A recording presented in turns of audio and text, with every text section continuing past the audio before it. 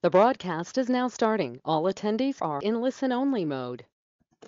Hello, everybody, and welcome to May's Reproaction webinar.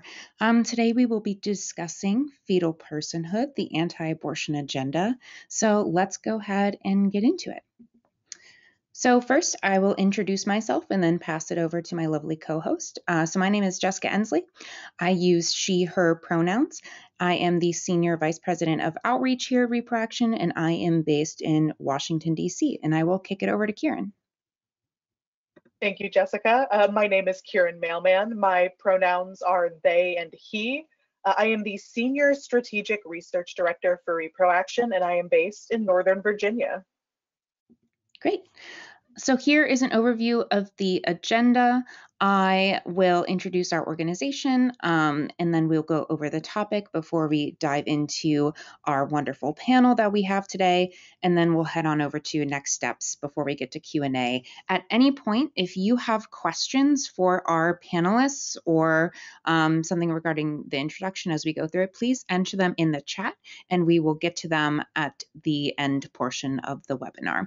And you can join us um, on the conversation by live tweeting uh, with hashtag reproaction. All, all right. So, to introduce reproaction, um, we lead bold action to increase access to abortion and advance reproductive justice. We are known for our left flank analysis, our willingness to hold folks on all sides accountable, including allies or opposition, and our commitment to nonviolent direct action. All right, so I will kick it over to Kieran to introduce the topic today.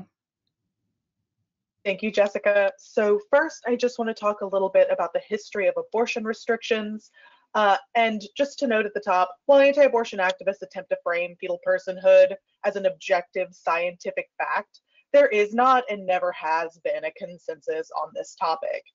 Even heavily Christian cultures have historically accepted abortion up until what they referred to as quickening, uh, which was about 16 to 20 weeks of pregnancy. So there is not a historical or modern consensus on the idea of fetal personhood. There are two key factors behind abortion bans. Uh, and note, abortion bans are often proposed under the banner of fetal personhood. Uh, and these two factors are racism and greed. So in the mid to late 1800s, most abortions were provided by midwives, about half of whom were Black. These midwives were seen as a threat to the profits of white male doctors and in response were demonized. We see this fetal personhood rhetoric escalate ahead of Roe v. Wade, with anti abortion activists attempting to use the 14th Amendment, which provides all citizens with equal protection under the law, to establish fetal personhood. Roe ended up preventing states from establishing fetal personhood before the idea of viability which is a pretty vague goalpost that anti abortion activists are constantly trying to move. So this slide I pulled from a larger, more in-depth uh, timeline made by Legal Voice. If you're interested in learning more detailed information about the fetal personhood movement in the US, highly recommend this resource from Legal Voice. So in 1884, we see the first recorded case of fetal personhood being struck down in Massachusetts. And around this time, other states that saw this kind of legislation followed suit and struck down this fetal personhood. I'm not going to, nonsense. Um, fast forward a good bit to 1973, just after Roe was decided, the Human Life Amendment to the Constitution was proposed. This defines the right to life as starting from conception. Um, it was not accepted. Then in 1986, we see Minnesota pass a law that treats the death of a fetus as homicide in some cases, which effectively grants legal personhood in or fetal personhood in some cases without using the fetal personhood rhetoric. In 2003, the Texas Penal Code defined a fetus as a person from fertilization, which has implications for sentencing. In 2004, the Unborn Victims of Violence Act passes. This law makes embryos and fetuses legal victims. So if, for example, a pregnant person was injured and the injury caused harm to their fetus, whoever caused the injury could be charged for harming both the pregnant woman and their fetus. In 2008, uh, we saw the first personhood ballot amendment introduced and rejected in Colorado. Colorado proceeded to reject similar amendments in 2010 and 2014. In 2013, we saw the Alabama Supreme Court rule that the state's chemical endangerment law, which was meant to be used to prosecute those giving substances to minors, can be used to prosecute those who use substances during pregnancy. In 2018, Alabama voters passed the Unborn Life Ballot Initiative, which made the Alabama Constitution recognize the rights of fetuses, including the right to life. So this was basically a state level version of the Human Life Amendment. A few years later, we see the Life at Conception Act introduced at the federal level, which would have given fetuses the right to life under the 14th Amendment. So seeing increasing state and federal legislation pushing this idea of fetal personhood. Then in 2002, Roe v. Wade was overturned. This means that states are now able to introduce and enact legislation that prohibits abortion before this idea of viability. Today, 39 states have fetal homicide statutes and 14 ban abortions with minimal exceptions. So we'll get more into the impacts of fetal personhood as we talk with our incredible panelists, but just a quick overview of some of these impacts. Uh, increased criminalization of pregnancy and pregnancy outcomes is a pretty clear impact of this idea of fetal personhood. When fetuses are implicitly given personhood, pregnant people, and especially pregnant people of color, are more likely to face criminalization.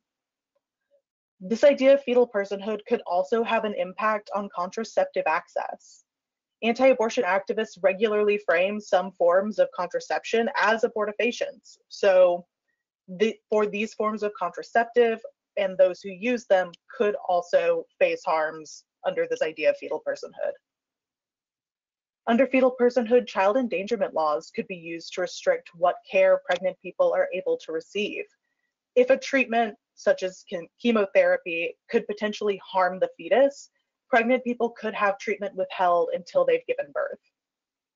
And we've already seen the impact that fetal personhood ideology can have on IVF in the Alabama Supreme Court ruling um, that promoted this idea of fetuses uh, being persons from conception.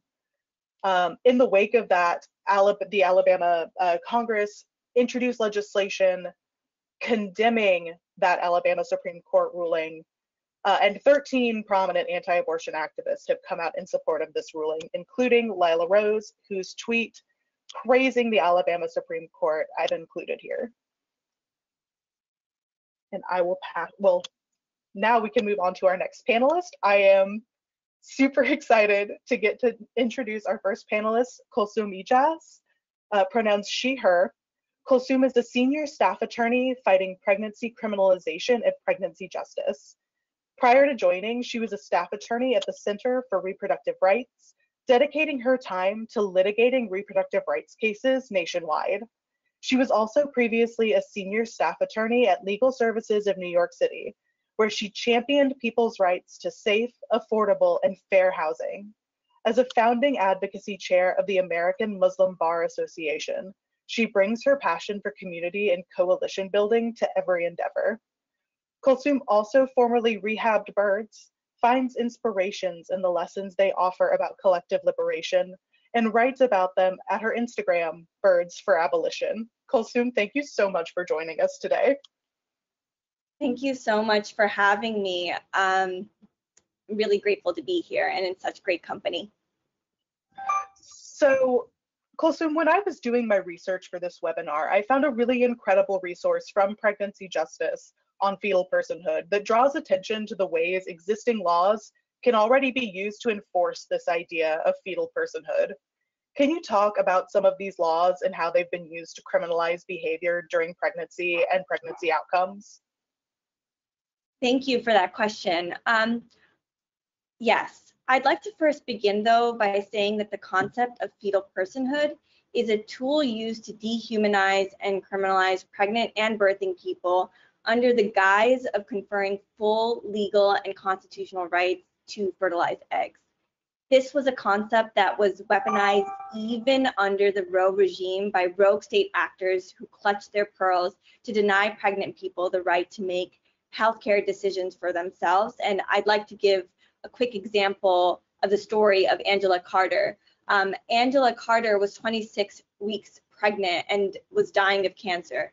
A DC Superior Court judge ordered an emergency C-section over the objections of her family and even her doctors who believed she would not have wanted it.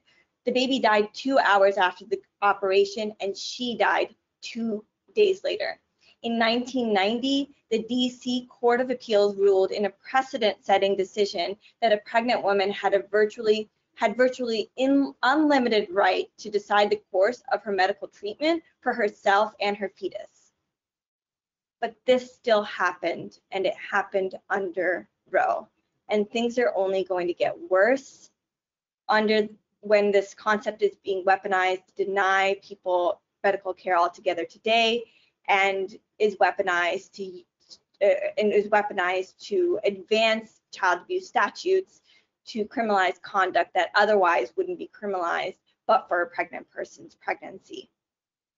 Thank you for mentioning our uh, fetal personhood report. I also want to mention our Rise of Pregnancy Criminalization report, another great resource for more on how fetal personhood is being weaponized across the nation to deny pregnant people their rights. Um, and I urge everyone to stay tuned for more reporting on this because, again, it's only going to get worse.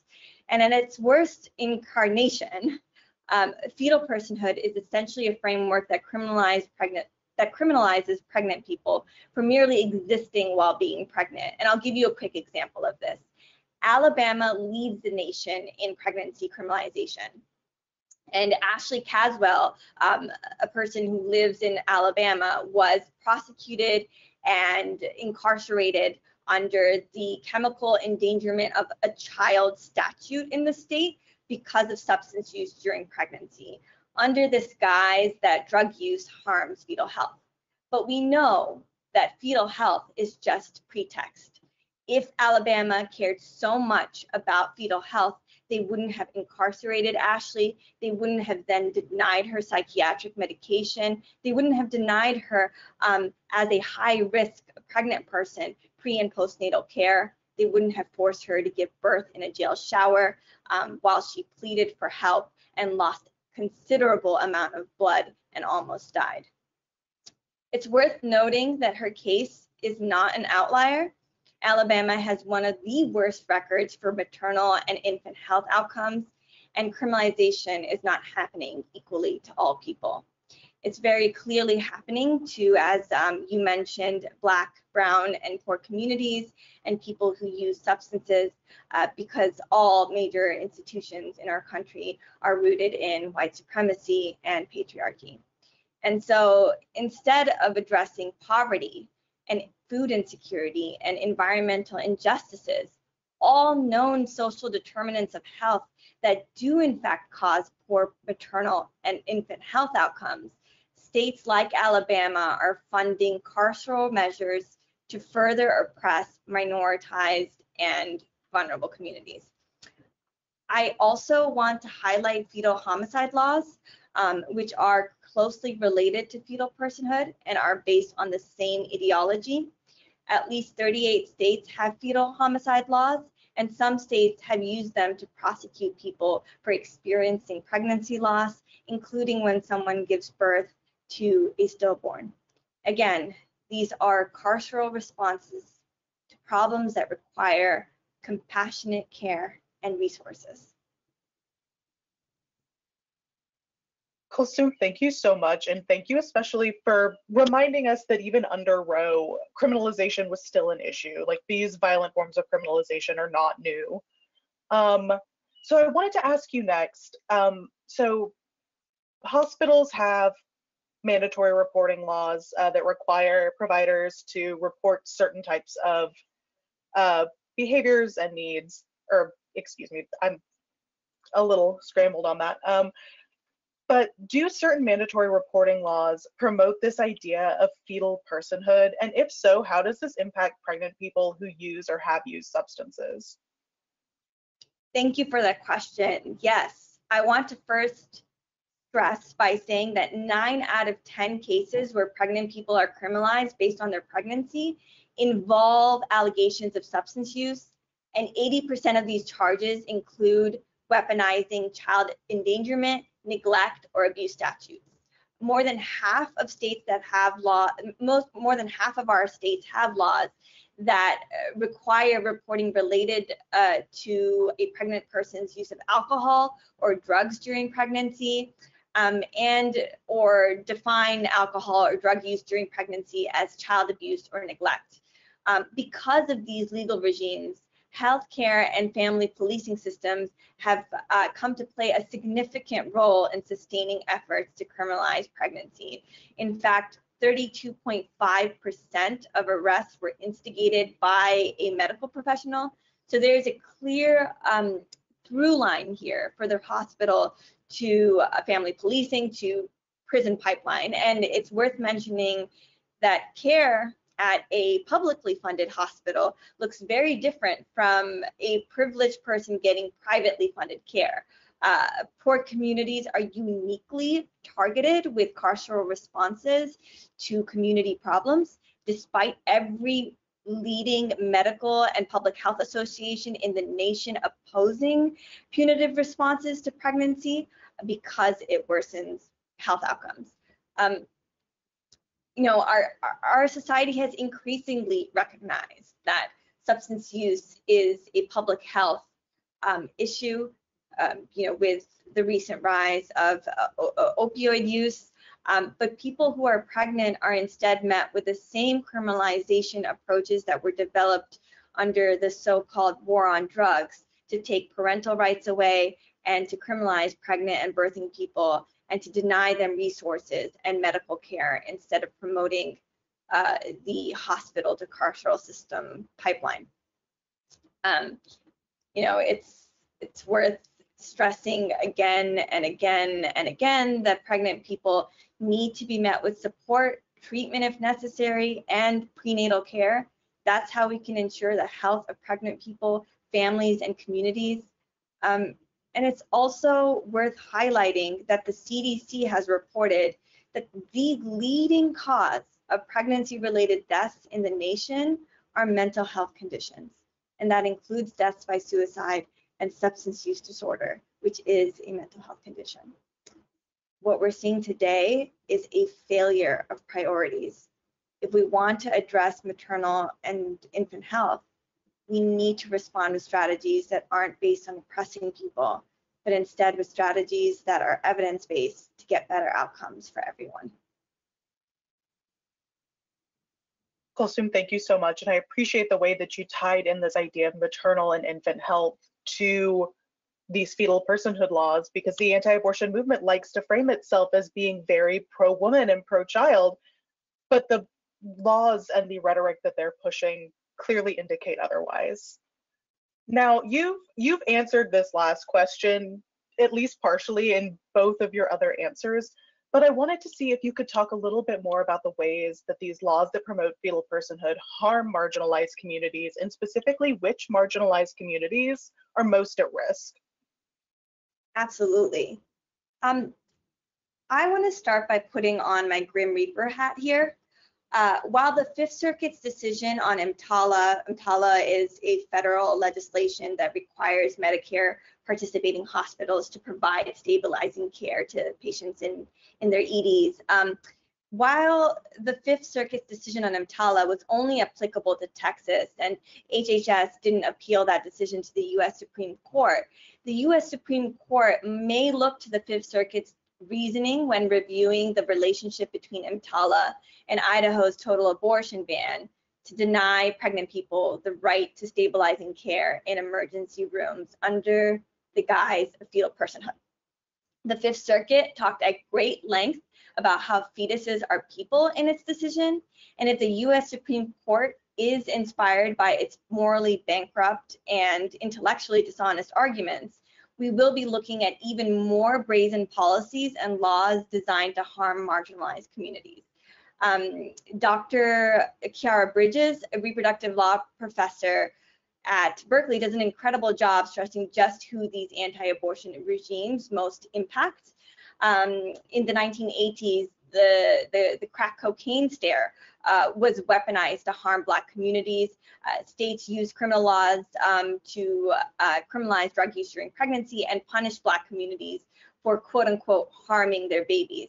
And uh, Dr. Khiara Bridges has warned that you know now the chickens have really come home to roost here, so to speak, and the same rhetoric is used to punish for white communities, as we've seen in pregnancy justice's most recent reporting on um, pregnancy prosecutions and um, on fetal personhood more broadly.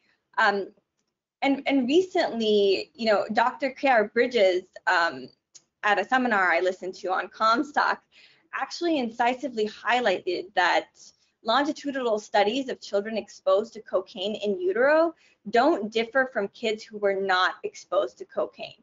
Uh, poverty, in fact, poverty is the most accurate indicator of whether a child is likely to die. So that then begs the question, right? What are we doing here? Um, substance use, right, during pregnancy is just smoke and mirrors. It is used to distract the public from the real problems poverty, no access to universal health care. When there is health care, that healthcare system is punitive, behaves as an arm to the carceral state to oppress poor communities, promotes racial biases to deny coverage to BIPOC communities. And these communities are siphoned off into neighborhoods with the highest rates of pollution in their air, water, and soil. And so I really want to close by stressing to everyone, right, to get out there and to fight the stigma, to support proactive approaches to decoupling our healthcare system from policing, and to push back against fetal personhood in all the ways, including by repealing legislation, getting better judges on the bench, promoting pregnant people's personhood. We need all hands on deck. Kulsum, thank you again for being here today. I'm so grateful we all got to hear from you. And I am going to pass it back to Jessica to introduce our next panelist. Great. Thank you both so much. And just a quick note um, closed captions are technically turned on, but it seemed to have stopped working. Um, so apologies. I'm going to leave the program working. Hopefully, it'll pick back up. Um, but I would love to introduce our next panelist, uh, Jessica Pieklo. She, her pronouns, is the Senior Vice President and Executive Editor of Rewire News Group, the nation's only media nonprofit dedicated exclusively to covering reproductive and sexual health, rights, and justice. She is also the co host of Boom Lawyered podcast with Imani Gandy, which is excellent. Highly recommend people listen to it. Jessica, thank you so much for joining us today. Thank you so much for being here. And as part of what an esteemed panel, it is absolutely my pleasure. Wonderful. So, my first question for you um, is through your work at Rewire, I know you're intimately familiar with the ways the anti abortion movement intersects with other dangerous far right movements. What are some parallels you see between the fetal personhood movement and the white supremacist movement? And are there any specific groups that you see that are furthering these ties? Absolutely. Thank you so much um, for that question. I would um, say that they are not just parallels, but they are one in the same. And I think um, in her presentation really drove some of that home. I was very grateful that uh, she talked about the EMTALA arguments at the Fifth Circuit because through the conservative legal movement, we really see the stitching together of um, the fetal personhood movements and white supremacist movements. So I would caution folks to think about to think about this less as movement specific and more uh, in lines of aligned political interests because that's really what they are. So um, as has already gone through the uh, the goal really of fetal personhood is to rewrite and reorder our legal understanding of the 14th Amendment and using fetuses, the idea of life beginning at conception conception as the Trojan horse for that.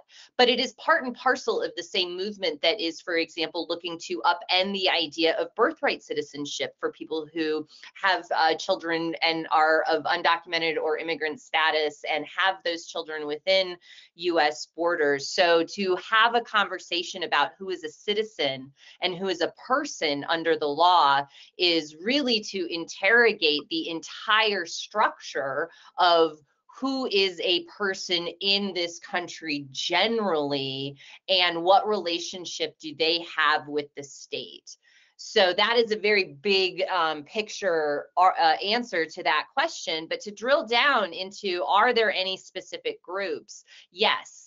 Um, we have some of the very vocal arms and wings of the anti-abortion movement in the form of Operation Save uh, America, for example, that is actively pushing for fetal personhood measures and those that would also punish folks who have um, abortions and provide them beyond just the usual routes of criminalization that we see. We have the Alliance Defending Freedom, you know, uh, which is the uh, probably uh, preeminent conservative legal advocacy organization in this country here, making explicitly legal uh, fetal personhood arguments before the Supreme Court. They did so in the EMTALA case, which has been briefly mentioned, and they continue to do so in other avenues. Um, uh, across the country in appellate circles. And I would say we have the entire conservative movement and Republican Party at this moment who has signed on to these measures in various shapes and form. We, uh, we've uh, seen a mention already of the Human Life Amendment at the federal level. This would, you know, our current Speaker of the House, uh, Mike Johnson, is one of the co-sponsors of that. That would create the kind of regime nationally that Alabama has created for itself within its borders. Um, so the the full weight of the conservative movement when it comes to personhood is behind this, even if not all of them say so uh, with their full chests just yet. Absolutely. Um, thank you so much for walking us through that. Um, turning a bit uh, in subject to my next question for you, um, as your specialty of as executive editor at Rewire News Group, what what are some successful strategies for journalists and activists in order to challenge the fetal personhood narrative? One of the reasons this country finds itself where in the place that it is in with regard to abortion rights and access is because of a national media's failure to interrogate the anti-choice movement and instead has opted to act more or less as stenographers for them. And so what I am imploring journalists to do is not that. And that is to start also, and there are very practical ways to do this. You can ask if you are interviewing lawmakers, for example, what the practical implications of their abortion bans are. You know, we don't need explicitly, uh, we don't need laws explicitly establishing fetal personhood, life beginning at conception under the 14th Amendment to already see those effects, as we've seen in this webinar already. Um, if you ask someone, well, what is the effect of banning abortion entirely?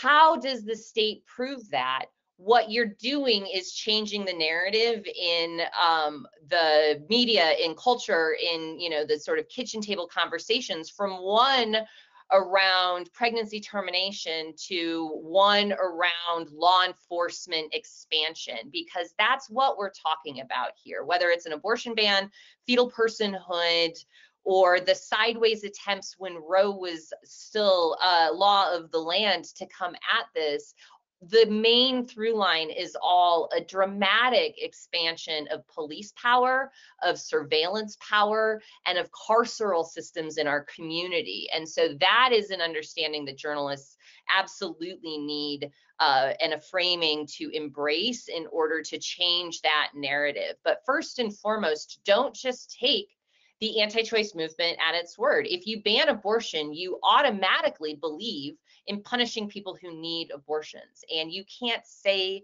both things at the same time. They can't possibly be both true. Absolutely. Yeah, that is um, something that we here at Reproaction have known for, for a long time and have been lucky enough to work alongside um, folks at Rewire News and, and other organizations in order to really um, break that down for folks. So yeah, very important that um, journalists and editors um, and just generally people um, in the activism space get that get that language correctly. Um, that abortion bans equal criminalization of pregnant people. Um, and uh, my my last question for you right now is um, from what you've seen in your work, what do you see as the next steps or goals of the fetal personhood movement? This is an excellent question because it is really about the, you know, future of democracy. And I mean that quite sincerely. What we are witnessing is a movement, as I said, to redefine who gets to count as a person in this country. And so that is not just whether or not a fetus has legal rights starting from conception, but whether or not LGBTQ people can fully be ourselves in public also with the full civic rights and privileges that attach to that as well. So the next steps or goals of the fetal personhood movement is to redefine who legally is a person from cradle to grave, and to do so in ways that reinforce white power structures because demography is not on their side. And this is really one of the last grasp efforts that we have, are witnessing for folks attempting to retain power by force if necessary. So we need to be talking about these movements in the same breath as we need to be talking about January 6th and the upcoming election uh, in November, because it is part and parcel of the same encroaching and established in some places autocraticness direction of this country. So the fetal personhood movement wants to not just ban abortion nationwide, not just declare life begins at conception, which would outlaw most forms of hormonal contraception, IVF, assisted reproductive technologies, all sorts of immediate uh, implications in terms of pregnancy termination, but has already been described in this webinar also. It exacerbate the the really tragic and and you know criminal disparities between who has access to care, who is criminalized, and who is allowed to continue on with pregnancies. I mean, the impact in all vulnerable communities in terms of care, should the fetal personhood movement have its way, it cannot be overstated. Yeah, that is um, thank you for that breakdown. It's um, very powerful. Um, and cannot thank you enough for sharing your knowledge and expertise with us here today. Um, again, everyone should check out um, Boom Lawyered Podcast too for very helpful breakdowns of um, court cases and understanding um, legal arguments around uh, repro rights. thank you so much, Jessica. And for folks, as we we're going through our panel, and right before I kick off to Kieran to introduce our next panelist, if you have questions for folks, please enter them in the chat and we will get to them at the end. Um, thank you again, Jessica, so much for um, uh, sharing your expertise. And I will kick it over to Kieran to introduce our final panelist. Thank you so much. I'm so thrilled to introduce our next panelist, Pepis Rodriguez. Uh, he uses he, him pronouns uh, and is dedicated to combating state control and marginalization of individuals and communities based on their gender or sexuality. He is a litigation counsel at the Lawyering Project and has litigated reproductive rights cases throughout the country in both state and federal courts. He was previously a staff attorney at the Center for HIV Law and Policy, where he worked to end HIV criminalization and advance sexual and reproductive health services for youth in state custody. Pepis received his JD from the Georgetown University Law Center and his BA from the University of Florida. He is licensed to practice in New York. Pepis, thank you so much for joining us today. Thank you. It's a, it's a pleasure to be here, and especially with such great co-panelists. And and I want to say before uh, we get into any of my questions, um, none of what I'm I'm going to say here uh, should be considered legal advice. and and the views I express are, are my own and they are not those of, of the Lawyering Project or anyone associated with the Lawyering Project necessarily. Thank you for that. So first question for you, I wanted to see if you could talk us through the recent case in Alabama that labels embryos created through in vitro fertilization children and talk about the impacts that that case could have on those using reproductive technology. Sure. So there's definitely a lot to unpack here. And um, honestly, I think there could be like a, a whole session just on this. But um, to, to try to be brief about it and, and hit on some of the major points, this is a, a wrongful death suit.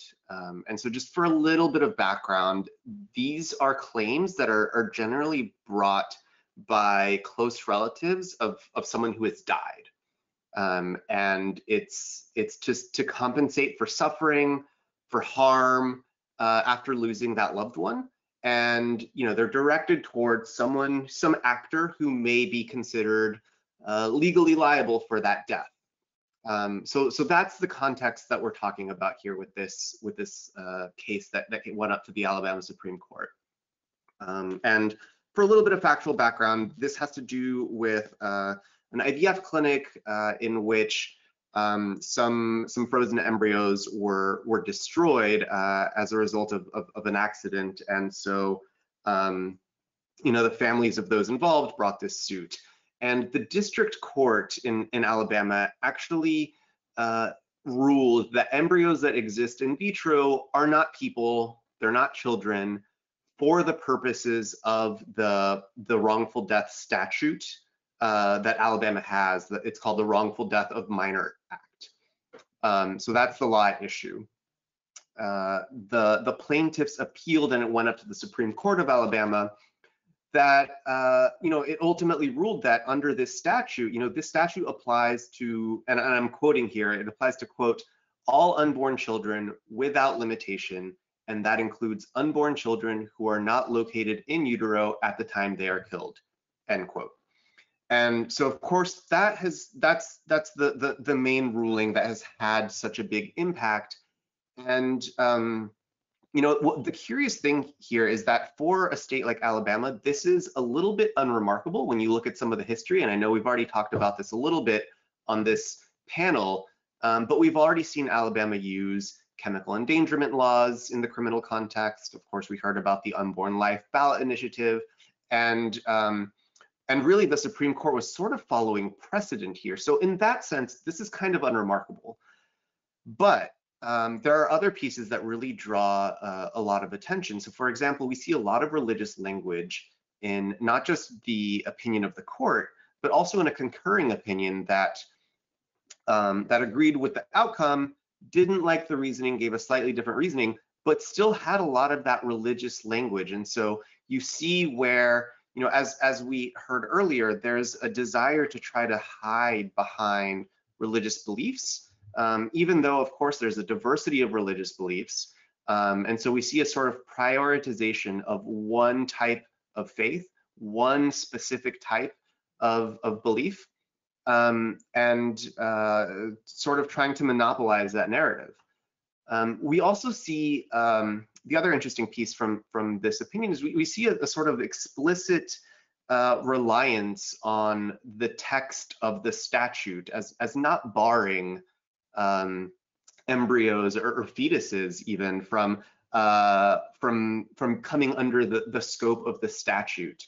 But of course, we see that you know the the statute at issue dates back to the 1800s, before ART, before IVF, and and so it, it, it doesn't really fit.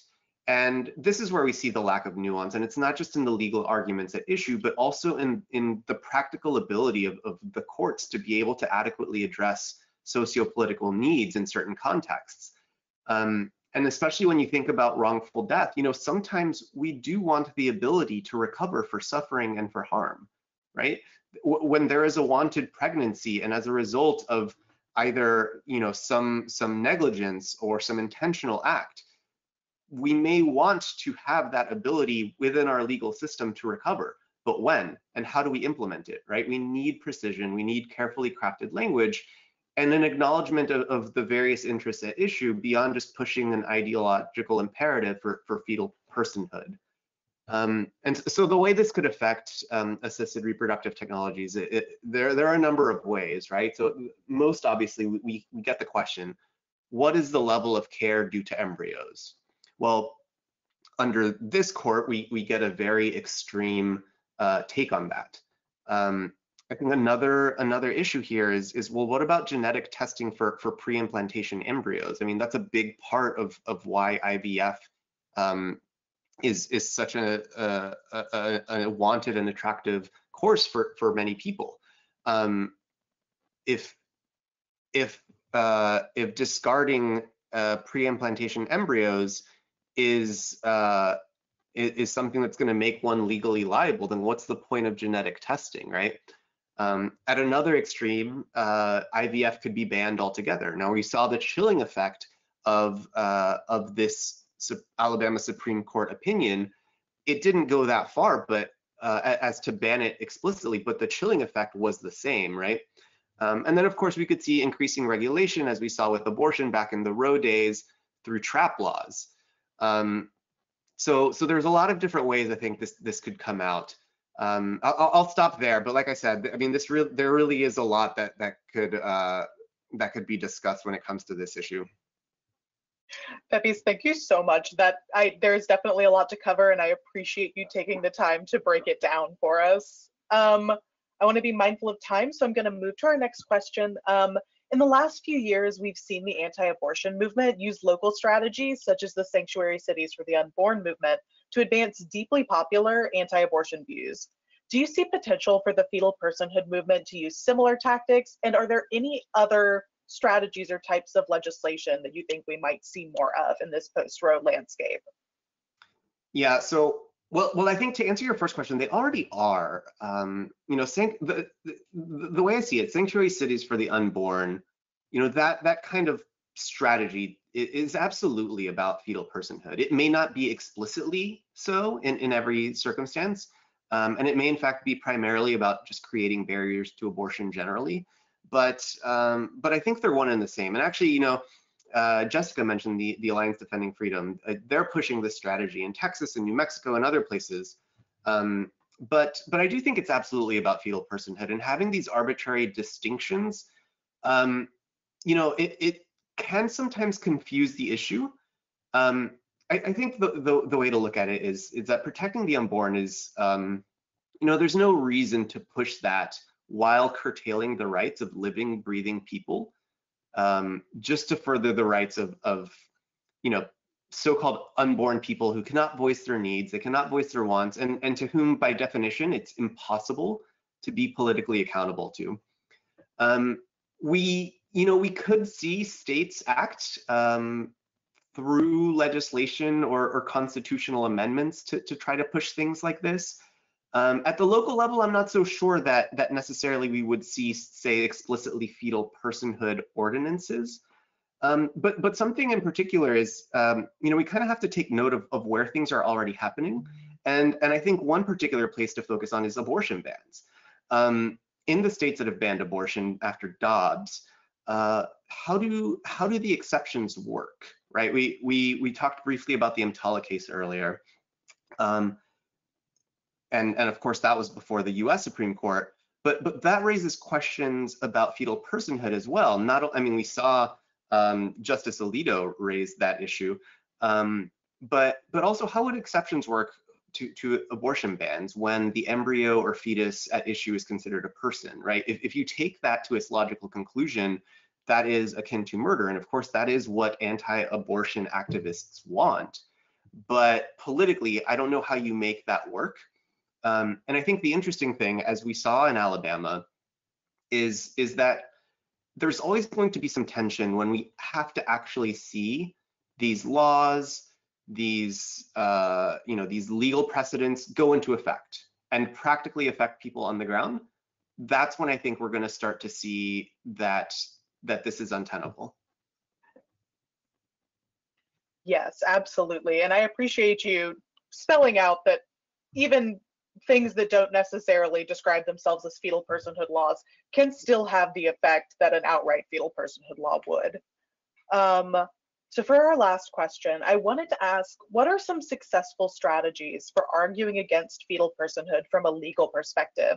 And are there any cases that serve as good examples of ways to shut down this fetal personhood narrative? Yeah, so I think uh, I'll I'll take a broad view of that question, um, and and I think we can operationalize successful in in, in different ways. I think, um, you know, the, the the sort of normative moral argument has not really been successful in a traditional sense, right? This um, this uh, really is the battle that we've been waging for for some time now. But I, I don't think that means that we should give up on it, right? I think we should keep uh, moving forward with arguments, legal arguments, uh, based in human rights. Um, you know, the idea of of people being able to have bodily autonomy and moral agency, um, being able to decide if, when, and how to procreate. Um, and, and similarly, uh, al along this sort of normative moral view, a, a push back against uh, the the the attempts to to have ideological or theological views rule, right? We, we cannot have that happen. Um, and, and so we do see some of that. As I said, this is sort of the battle we've been waging for some time. We see it in state litigation. So, so for example, in New Mexico, where various municipalities have been pushing uh, for, for these sanctuary cities for the unborn, um, we, we see some state litigation there where the, the, the state AG actually filed suit. Um, and so, you know, I, I, think certainly those arguments we can keep making, but but I think the other side, which is maybe the the more uh, the more traditional accepted view of of what is successful, um, we can we can look to more consequentialist legal arguments that that look at uh, you know what are the consequences of of pushing these these ideological narratives. And and really that's as i said towards the end of the, my last answer it, it's about forcing the other side to deal with the political realities of of what happens practically when these things go into effect. Alabama offers a good example. After this uh, the the supreme court's opinion they quickly you know, the, the, legislature there scrambled to try to, to fix that. Now, whether that is going to be successful, whether that's going to be enough, like it, it remains to be seen. But notably, the clinics at the center of the case said that they think the law falls short of addressing, you know, fertilized eggs that are currently already stored at, at facilities. Um, and so you see like that the, sort of the backtracking is a little bit too late there. Um, I think uh, Dobbs is another good example, right? I think more broadly, um, what happens when abortion bans actually go into effect and we see the devastation that causes in so many different ways. Um, and, and, and ultimately to, to this consequentialist uh, take on it, I think something that, that can be important is to push uh, legislators, especially in, in states where you know there there's a, a, firm control over the legislature and we know that that these uh, these bills are, are, ultimately going to pass. Push legislators to to try to at least affect the legislative history because then that's something that we can work with in in you know when it comes to litigating um, with a rich legislative history where there are questions about well how is this actually going to uh, affect people uh, practically? How is this actually going to affect the you know the medical side of it, the the the public health side of it. Um, I, I think that's what's ultimately you know kind of the way forward. But I do think it's important to acknowledge and, and really make peace with the fact that we're not going to shut down the fetal personhood narrative. It, it, it's about continuing to find ways to push the arguments that we want um, and, and help the people that are most affected, of course. Absolutely. And I just really appreciate you tying in the way uh, Alabama legislature tried to backtrack because I think it shows anti-abortion activists are very quickly having to grapple with the fact that their views are extremely unpopular. Uh, Pepis, thank you again for joining us today, and I will pass it back to Jessica. Great, thank you so much. Um, before we dive into our Q&A, we'll do some housekeeping so you can plug into ReproAction campaigns by signing up for alerts at reproaction.org and you can follow us at, on social media um, always at ReproAction. And then save the date for our next webinar, Attacks on Later Abortion, that will take place on Monday, June 17th at noon Eastern Standard Time. And now for the Q&A portion, again, as you have questions, um, please feel free to enter them as we have about 10 minutes left. Um, so my first question that I have for the panelists, anyone who wants to take it, please go ahead. Uh, we have a submission is, what actions should we be taking to combat fetal personhood legislation beyond legal action? Are there talking points or framing we should engage with if we are organizers within the abortion space? So any panelists who would want to jump in, please feel free.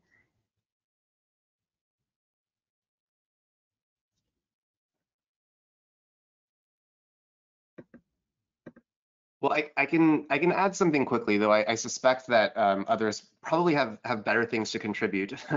but but to to my last point that I ended on, um, when when these bills are are coming up, um, you know, you can testify uh, before your state legislature. And I think, um, you know, putting forward the the realities of of how these various laws will affect people um, on a day-to-day basis, I, I, think that is is incredibly helpful. But you know, as as you said in the question, like beyond beyond the legal aspects, like I think other things can be more helpful. So I'll, I'll let the other panels panelists chime in.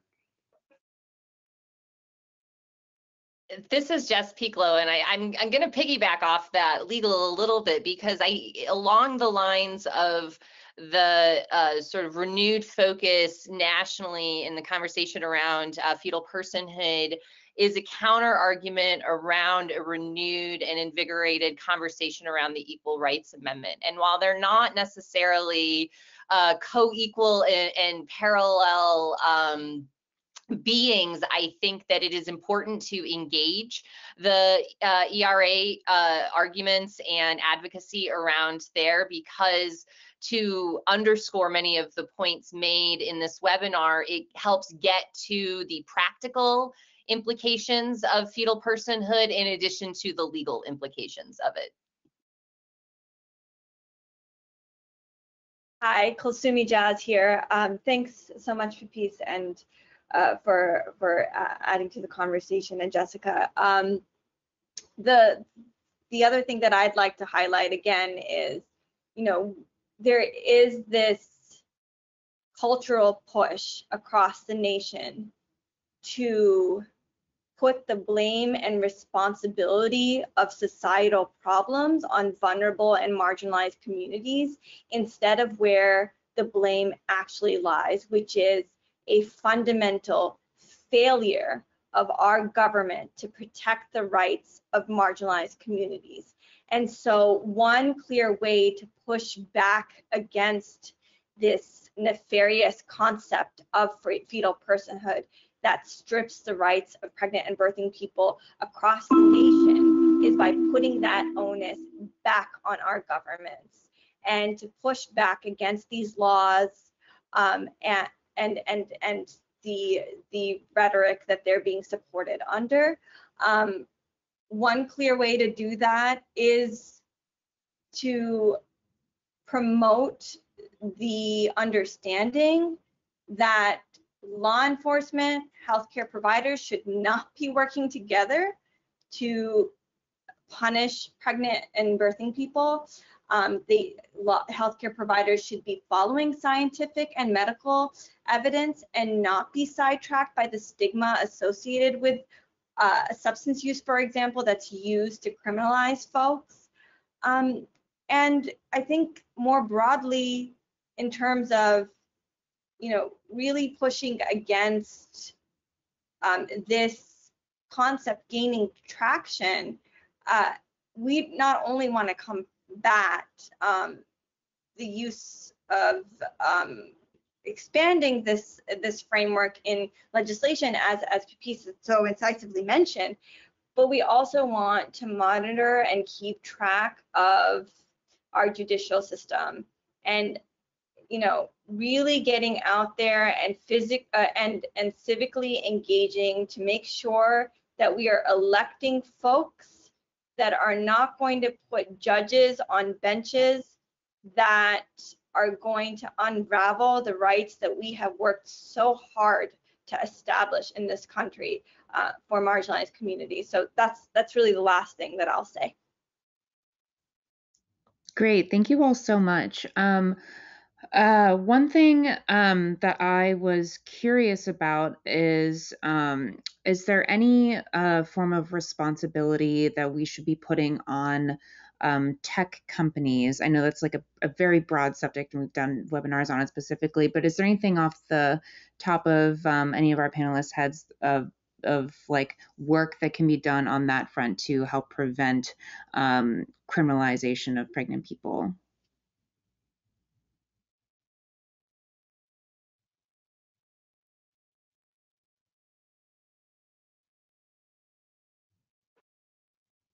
I I will add um, my opinion here. I think I think there's certainly a lot that can be done uh, on on the privacy front, right? Um, but I think ultimately um, I'm skeptical of of uh, tech companies or, really any corporation um, ultimately being um, uh, sort of the the bottom line because ultimately they're not accountable, right? They're accountable to shareholders.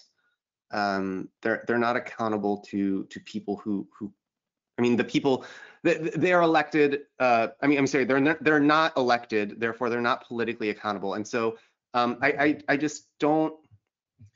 I, I have trouble seeing that as as sort of the stopgap as opposed to some kind of state mechanism. But I I, I certainly think that. Um, they they can be doing more, and I think some companies are are doing better than others. But um, I you know that's that's a sphere, a legal sphere that I, I know frighteningly little about, unfortunately. Yeah, thank you for sharing. It is definitely um, a, a, complicated space uh, for that reason, but um, definitely on all fronts, trying to combat the fetal personhood narrative um, is definitely helpful. And um, we only have a few minutes left, so I just want to ask our lovely co host, Kieran, if you have anything else that you'd like to add from any of the questions that we've asked, um, or just ask a, if you have any quick questions for our panelists before we close out. Thank you. So I had had a thought on uh, the question you asked about tech companies and fetal personhood.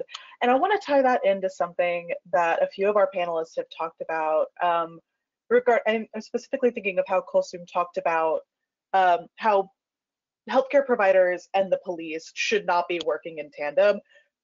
Like social media companies and the police should not be working in tandem. There should not be instances where social media companies are just handing over people's messages. If I'm remembering correctly, there was a case where a social media company handed over uh, the messages of a person who had been seeking an abortion. And that is extremely concerning because why is why is someone like Facebook uh, becoming involved in police matters and legal matters? Why are they functioning as an arm of the police. So that's that's just something I was thinking about regarding that question.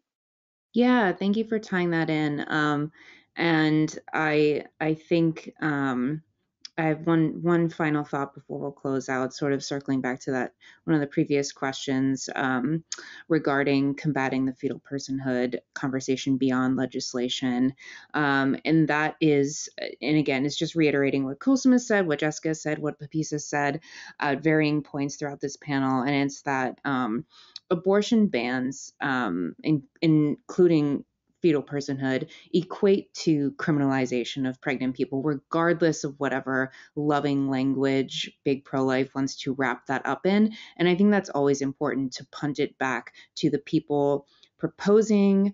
Um, fetal personhood legislation or proposing um, fetal personhood language of yeah, what are the realistic outcomes of this and the realistic outcomes is putting uh, pregnant people in jail. Um, and that's unconscionable and um, has been happening, and we must fight back against this. So, um, thank you all so much for joining us. Thank you for um, uh, Kieran for putting this uh, webinar together. Thank you so much to our panelists, Kulsum, Jessica, and Pepis for lending your time and your expertise for folks. Um, and you all have a, a wonderful rest of your day. Take care, everybody.